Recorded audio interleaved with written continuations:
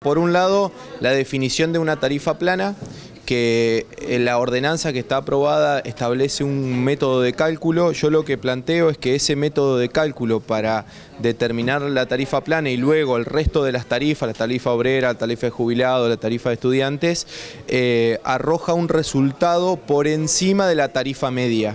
¿Qué es esto? Eh, nosotros como analista de costos eh, partimos de una tarifa media, o sea, cuánto debería pagar eh, el ciudadano si no hubiese diferencias de categorías. ¿no? En el caso de mi análisis de costos, a mí me da que esa tarifa media tiene que rondar los 8 pesos.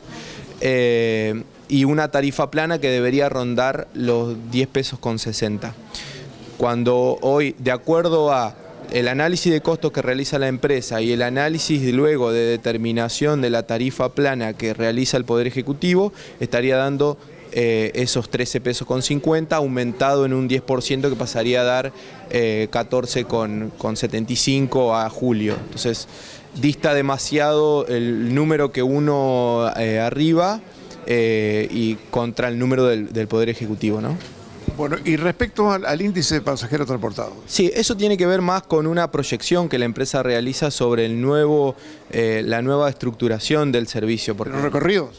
Sí, una nueva reestructuración de los servicios y de los recorridos porque plantea el modelo de eh, transporte interurbano, o sea, eh, sacar líneas que eran exclusivamente del servicio de Paraná, pero que llegaban a Colonia Avellaneda, a San Benito, y, pasarlas a, a, que sean parte del transporte interurbano. Bueno, en ese recorrido yo lo que planteo como un interrogante o como una duda que puede surgir a futuro, cuánto van a ser los pasajeros del servicio que le van a quedar a Paraná.